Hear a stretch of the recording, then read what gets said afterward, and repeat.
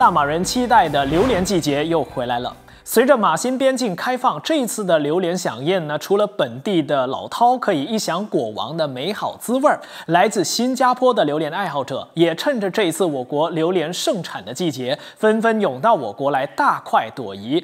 马上跟着八点资日报特派团队的镜头到柔佛去看一看，新加坡的老饕们是如何臣服在大马榴莲的魅力之下。他们不只是到新山市区大买特买，还开车深入榴莲吧，品尝刚刚落。地的新鲜榴莲。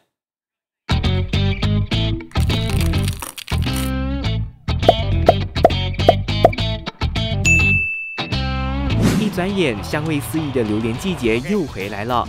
看看榴莲档口的人潮，就知道果中之王实在诱人到魅力无法挡，让不少老饕迫不及待冲到档口去品尝果中之王的独有魅力。That's yummy. 我觉得石头是最好的，我们会比较 prefer 青龙啦。我们比较喜欢猫山王跟王中王。而适逢我国开放国门之后，迎来首个榴莲季节，苦等许久的新加坡食客，也在暌违两年多之后，再次呼朋唤友，特地前来我国大快朵颐。哎，不是说好要来吃榴莲的吗？怎么一辆接着一辆的车子往山区开去了呢？原来这一批来自新加坡的榴莲爱好者，他们要驱车到柔佛古来的榴莲园去吃榴莲啦。来到这里的顾客，除了可以吃到刚刚落地、新鲜到爆灯的榴莲，也可以在榴莲树环绕的氛围中大吃一顿，体验非一般的榴莲好滋味。就是想要 experience 那个 farm to table。肯定的品种比较多，人那个老板他也会选。我先生他听朋友说，这个中诚水果园是有很新鲜的榴莲，所以我们就过来试一下，蛮好的。摊主和那个服务的人员都蛮专业的，然后看到这么多高高的这种榴莲树，上面挂着那些榴莲，就很可爱了。首先就是一个体验嘛，体验这个感觉是在新加坡没有的。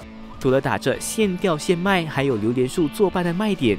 榴莲园老板的服务也很周到，你看，摇一摇，闻一闻，老板两三下的功夫就找出了他们眼中的好榴莲，马上动刀把黄澄澄的果肉掏出来，让现场的食客吃个痛快。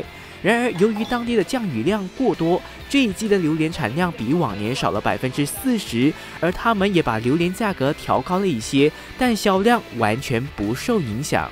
拜六礼拜啊，很难说，多的时候可以一吨多，就在这边可以卖到一吨多的榴莲。平时都是三五百一咯，这样子，有时多的话可能六七百也有可能。对于专程前来吃榴莲的狮城食客来说，无论是价格还是榴莲的品质，都是吸引他们开车好几个小时，越过长堤来马来西亚吃榴莲的原因。当然，我觉得这里口味比较浓。比较重，所以呃，这里它的榴莲也是有一种特别的 taste 口感，对，在新加坡找不到。那种麻麻的味道。单单比较榴莲的话，其实这边会比较便宜。这边三粒的价钱跟在新加坡差不多一粒的价钱是一样。除了在现场吃到饱，许多新加坡食客临走前都会大包小包带着好几袋的榴莲带回新加坡和家人朋友分享。虽然入夜之后的榴莲园不再开放，但果王却是越夜越香。柔佛新山多条街道旁，现在都立起了大大小小的榴莲档口，吸引不少本地和外国游客前来光顾。档口老板说，在国门大开之后啊，他们一天内就可以卖掉两三吨的榴莲。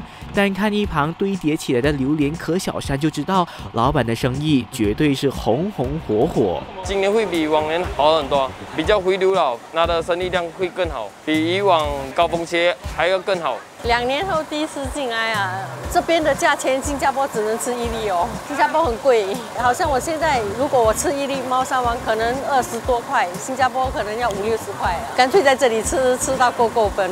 阔别两年之后，市城游客终于能够再来我国尽情消费。榴莲档口老板的好心情是完全写在脸上，毕竟新加坡人的消费至少占了他们百分之三十的营业额，而且多数人都是慷慨消费，五百一千都有，少少来讲至少都两三百，如果加打包的话，千多块一定有。这一次的榴莲季节预计再过两个星期就会结束，还没来得及尝果王滋味的朋友们，得赶快抓紧机会了，否则就要再等到八月份的榴莲季到来时，才能够再次品尝到榴莲的滋味了。